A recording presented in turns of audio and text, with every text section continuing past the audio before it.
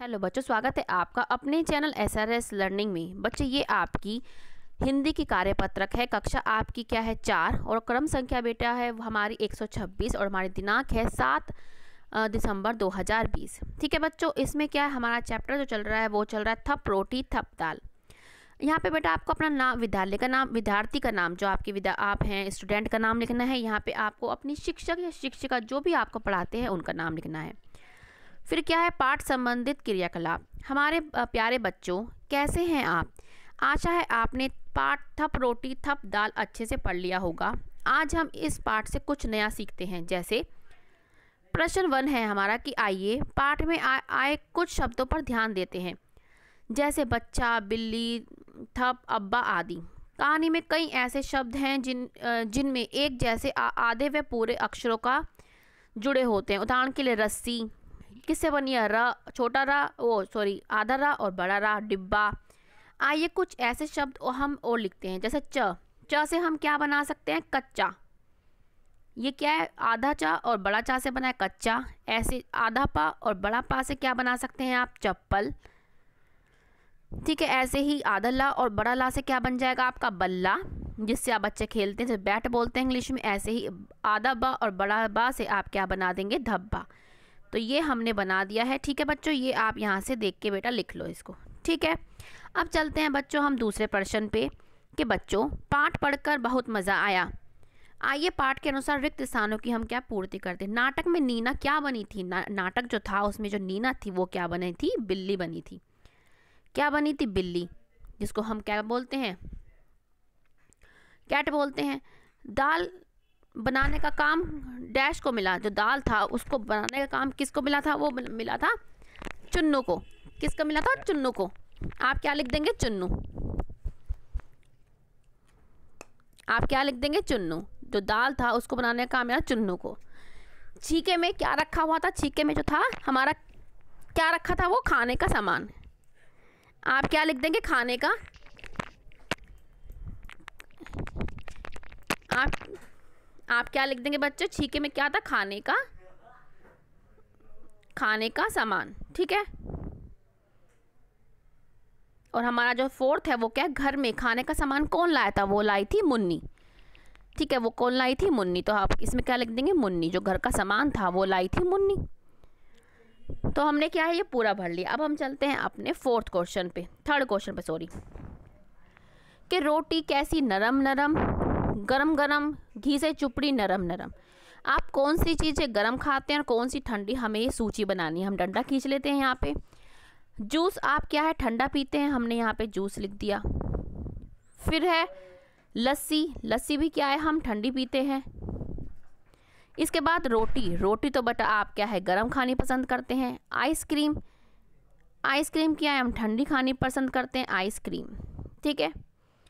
पकोड़े पकोड़े तो हम गरम खाते हैं, जिसमें से क्या धुआँ निकलता है, हमें वो बहुत पसंद आता है।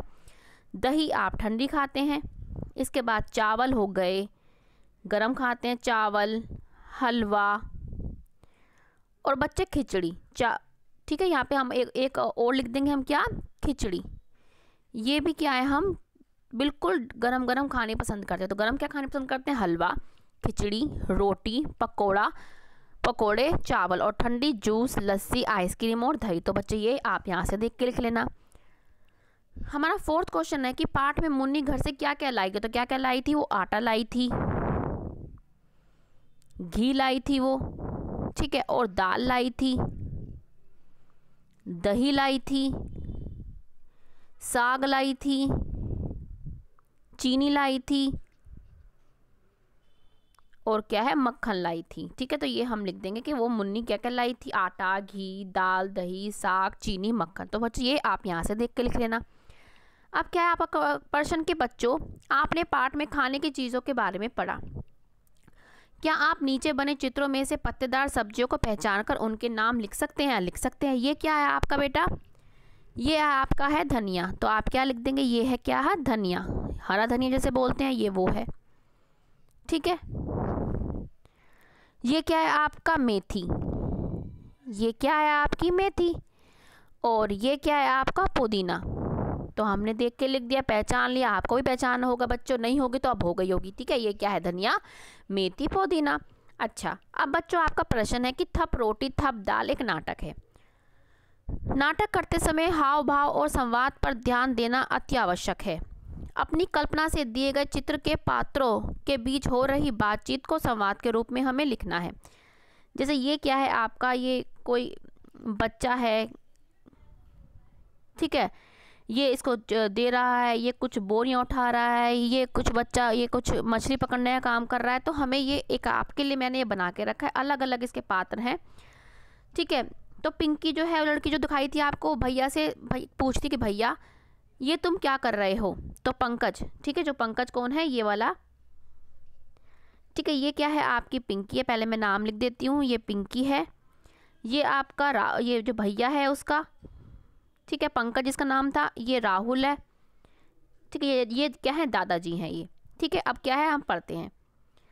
पिंकी क्या पूछते हैं, भैया, ये तुम क्या कर रहे हो? पंकज कहता मैं चिड़ियाओं को खाना दे रहा हूँ। फिर गंगा, दादाजी, जो लड़की है, एक उस पर बैठी हुई है, पेड़ पे। दादाजी, आप मुझे मछली पकड़ना सिख सिखा दो, यहाँ पे सिखा दीजिए।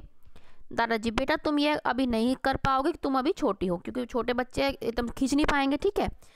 पिंकी, फिर क्या पिंकी दोबारा, जो दूसरा भैया है, उससे पूछती है कि पिंकी पिंकी पूछ रही है कि राहुल भैया, ये आप आटे की बोरी से क्या कर रहे हो? तो राहुल जवाब देता है, पिंकी, कल कुश्ती लड़ने जाना है इसके लिए ताकत बना रहा हूँ। ठीक है तो क्या है वो, मैं ताकत बना रहा हूँ, ये ये देखो बेटा, आपका ये है।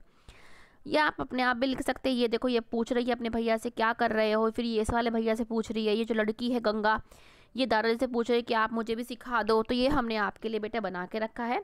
अच्छा लगा हो तो बच्चों, ठीक है बच्चों अच्छा लगा हो तो ज़रूर लाइक कीजिएगा हमारा वीडियो और बेटा शेयर भी कीजिएगा और सब्सक्राइब भी ज़रूर कीजिएगा। ठीक है?